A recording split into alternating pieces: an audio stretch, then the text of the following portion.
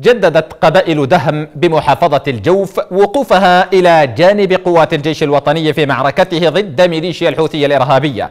وقال قائد مطرح القبائل الشيخ سنان العراقي قال إن قبائل الجوف التي وقفت في وجه الحوثيين منذ العام 2008 تؤكد وقوفها اليوم إلى جانب الجيش والأحرار من أبناء اليمن حتى استعادة الدولة وإسقاط الانقلاب الحوثي الإرهابي الإيراني. وأشاد الشيخ العراقي بما سطره أبطال الجيش الوطني والمقاومة الشعبية في الجو في معارك التحرير ضد ميليشيا الإرهاب الحوثية.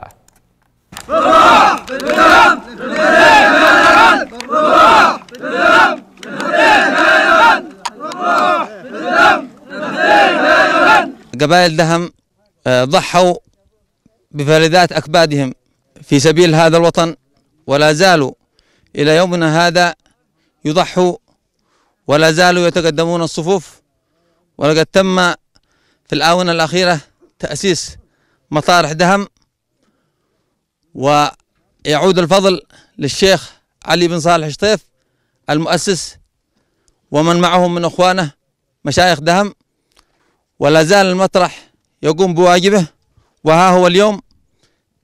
وفي ظل التصعيد الأخير من قبل الحوثي يضحي ويشارك أخوانه الجيش الوطني شارك في جبهة صرواح وجبهة المشجح وكذلك في الكسارة وكذلك في جبهة رغوان وغيرها من الجبهات الأخرى وقدم شهداء في الفترة الأخيرة ولا زال يقدم وعلى استعداد لتقديم آه المزيد من الشهداء في ظل أو من أجل هذا الوطن ومن أجل دحر الميليشيات الإيرانية التي لا زالت تريد أن تفرض على الشعب اليمني الشعب الأبي آه، تفرض عليه أجندة خارجية وكذلك تريد أن ترسخ فيه قاعدة لانطلاق لزعزعة أمن اليمن والمنطقة العربية.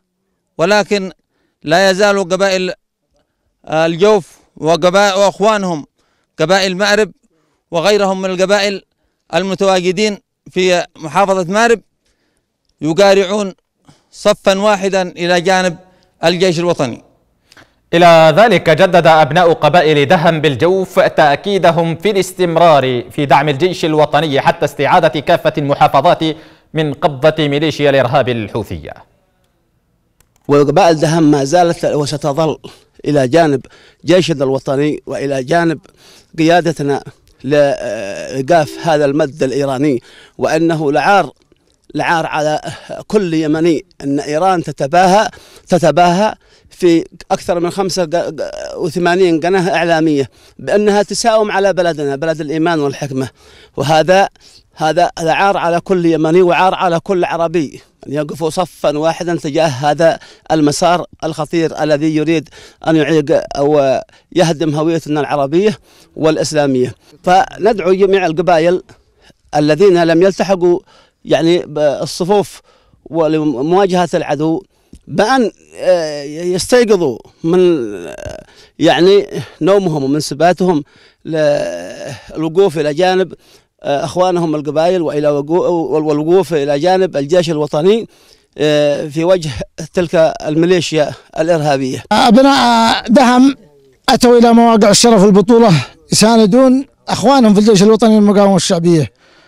وندعو من منبر قناتكم العزيزة قبائل اليمن وشرفاء اليمن من مشايخ وأعيان وأفراد أن يكونوا صفا منيعا مع أخوانهم الجيش الوطني والمقاومة الشعبية ودحر الغازي الإيراني المجوسي الذي أتى ليغير هوية اليمن ونقول لأتباع إيران إن لكم ذلك إن لكم ذلك إن حربكم على مارب والجوف وتعز وجميع اليمن خاسرة وستخسرون بإذن الله سبحانه وتعالى ولن تنتصرون وسنحاكمكم اجلا عاجلا أم اجلا بإذن الله سبحانه وتعالى. نرسل رسالتنا للحوثي وميليشياته الإجرامية بأن ما حشده من الحشود والمسيرات والصواريخ بجميع أنواعها بأنها لن تخيفنا.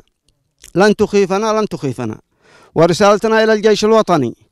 هؤلاء قبائل دهم آه، هؤلاء قبائل دهم كبارهم وشبابهم مستعدين على المواصلة معكم ولن نتأخر. ولكن سوف نكون في الصفوف الأمامية. معكم حتى النصر أو الشهادة. ورسالتنا إلى القابعين تحت سيطرة ميليشيات الحوثي أننا قادمون ولن ننتظر حتى يأتوننا. ومن اليوم سنأتي ونطهر كل شبر من عمالتهم ورقسهم معركتنا مع الحوثي إحنا كقبائل دهم معركتنا معركة قديمة من من عام 2008 2009 2010 و2011 2014 وحتى الآن ولا زلنا مواصلين. و ولا ويمكن نتخلى أبدا من تحرير الوطن بالكامل. ونجدد عهدنا للقيادة وللوطن إن إحنا نواصل حتى آخر شبر في الوطن تحرير.